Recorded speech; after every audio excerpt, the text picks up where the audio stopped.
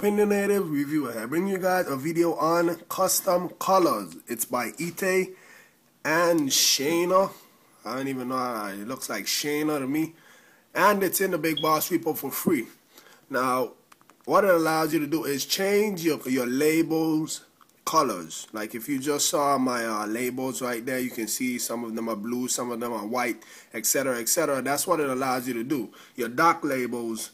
So let me just go ahead and show you guys. You're gonna go into settings and scroll down until you see custom colors right there.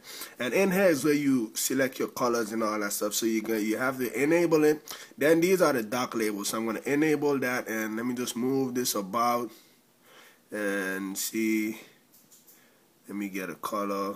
So let's work with, with that.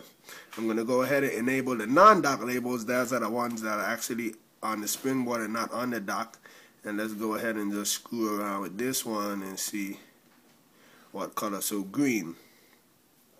After I finish that I have to go ahead and hit reload. You don't have to respring. You can just reload.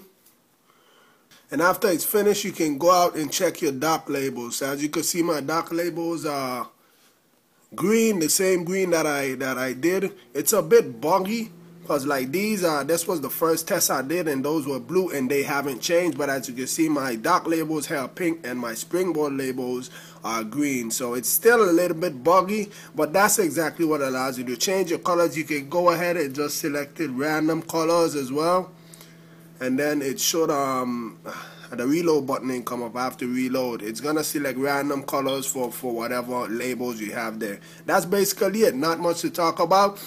It's in the Big Boss Repo for free. It's called Custom Colors. It's a matter of preference if you want to get it or not. With that being said, please rate, comment, subscribe. Have a nice day.